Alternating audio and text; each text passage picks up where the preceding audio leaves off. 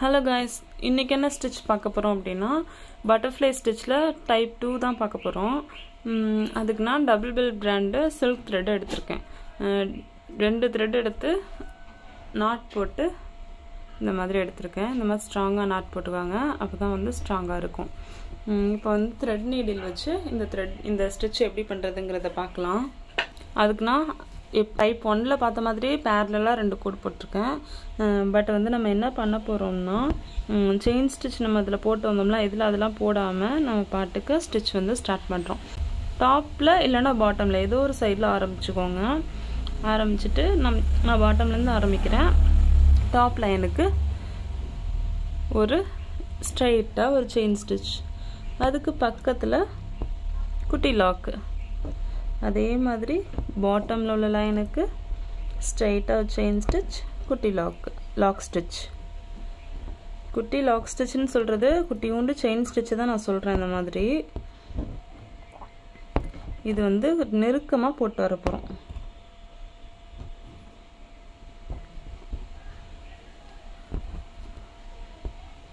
இது ஃபுல்லாகவே அதாவது இந்த பேரலாக போட்ட கோடு ஃபுல்லாகவே இந்த ஸ்டிச் வந்து அப்ளை பண்ணிவிட்டு அதுக்கப்புறமா பட்டர்ஃப்ளை ஸ்டிச்சாக எப்படி கன்வெர்ட் பண்ணுறது அப்படிங்கிறத தான் இன்றைக்கி நம்ம பார்க்க போகிறோம் இதுவுமே அதே மாதிரி தான். எந்த பாவாடை சட்டையில் யூஸ் பண்ணிக்கலாம் நெக்லைனில் யூஸ் பண்ணிக்கலாம் ப்ளவுஸுக்கு ஹேண்டில் பார்டருக்கு யூஸ் பண்ணிக்கலாம்.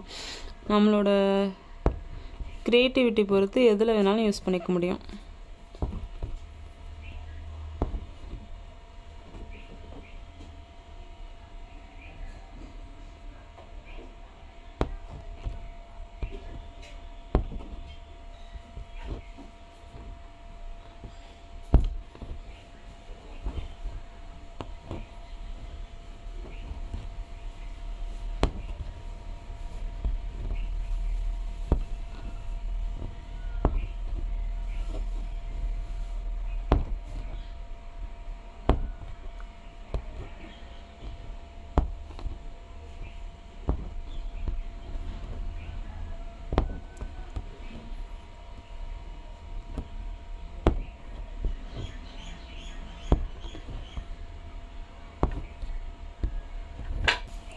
இதே மாதிரி இந்த ஸ்டிச் ஃபுல்லாக நான் கம்ப்ளீட் பண்ண போகிறேன் கம்ப்ளீட் பண்ணிவிட்டு அடுத்து நம்ம இந்த ஸ்டிச்சை எப்படி வந்து பட்டர்ஃப்ளையாக மாற்றணுங்கிறத நான் உங்களுக்கு சொல்லி கொடுக்குறேன்.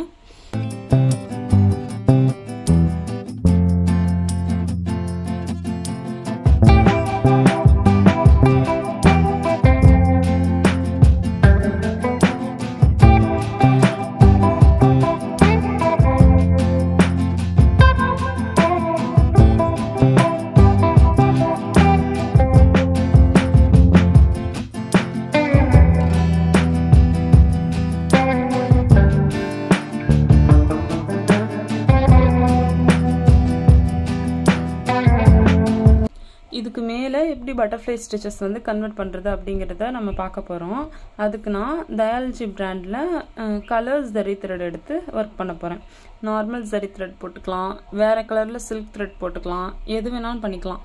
நான் வந்து கலர் ஜரி த்ரெட் இந்த வாட்டி எடுத்திருக்கேன். இப்போ நான் த்ரெட் நீடில் தான் ஒர்க் பண்ணுறேன் த்ரெட் நீடில் வச்சு தான் ஒர்க் பண்ணுறேன் இப்போ ஃபுல்லாக ஃப்ளாட் லோடிங் நம்ம முடிச்சிட்டோம். லோடிங் முடிச்சதுக்கப்புறமா இந்த த்ரெட்டு வச்சு அந்த ஹூக் பார்ட் இருக்குல்ல இந்த ஹூக் பாட்டை வச்சு த்ரெட்டை இந்த மாதிரி இழுக்கிறேன். இழுத்து வச்சு அந்த இடத்துல ஒரு பஞ்ச் பண்ணி அடியிலிருந்து த்ரெட்டை வெளியில் எடுக்கிறேன். எடுத்துட்டு இன்னொரு பார்ட்டிஷன் பிரித்து அதை இன்னொரு சைடு இழுக்கிறோம். அதை வந்து ஆப்போசிட் சைடில் இழுக்கிறோம் இப்படி. இழுத்து அங்கே ஒரு பஞ்ச் பண்ணி ஒரு ஸ்டிச் கொடுக்குறோம். கொடுத்துட்டு திரும்பவும் அதே மாதிரி தான். இந்த மாதிரி இழுத்து வைக்கிறோம். இழுத்து ஒரு ஸ்டிச் போடுறோம். மறுபடியும் ஒரு ஒன் சென்டிமீட்டர் அளவுக்கு தள்ளி பேக் சைடு இழுக்கிறோம். இழுத்துட்டு பஞ்ச் பண்ணுறோம்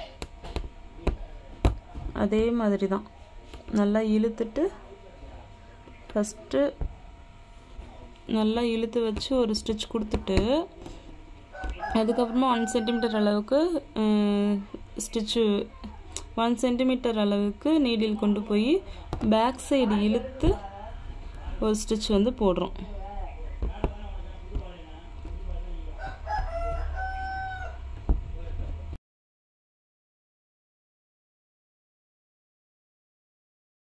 இதே தான் நம்ம ஃபுல்லாக பண்ண போகிறோம்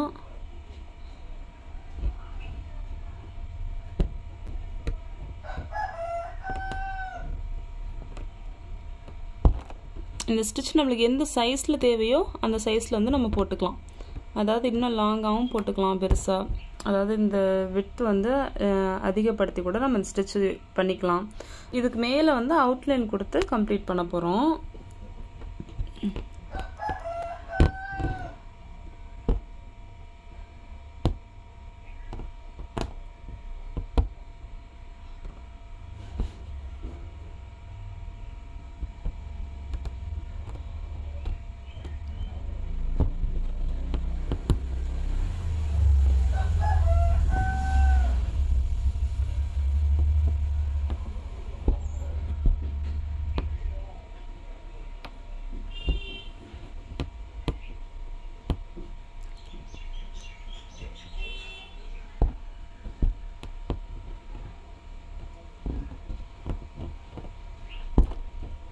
ஃபுல்லாக இந்த மாதிரி வந்து இந்த ஸ்டிச்சை வந்து நான் கம்ப்ளீட் பண்ணுறேன் லாஸ்ட்டாக வந்து என் நாட் போட்டு கம்ப்ளீட் பண்ணுறேன் இந்த ஸ்டிச்சை பண்ணதுக்கப்புறமா இதை சுற்றி நான் ஜரி த்ரெட் ஒர்க் வந்து நம்ம ஆல்ரெடி பட்டர்ஃப்ளை ஸ்டிச் வந்து இன்ட்டு மாதிரியே தைச்சோம். பட்டர்ஃப்ளை மாதிரியே ஸ்டிச் பண்ணோம். இதில் ஃப்ளாட் லோடிங் பண்ணிவிட்டு ஃப்ளாட் ஸ்ட்ரைட் லோடிங் பண்ணிவிட்டு அதில் எப்படி பட்டர்ஃப்ளை ஸ்டிச்சாக கன்வெர்ட் பண்ணுறது அப்படிங்கிறத தான் இப்போ நம்ம பார்க்குறோம்.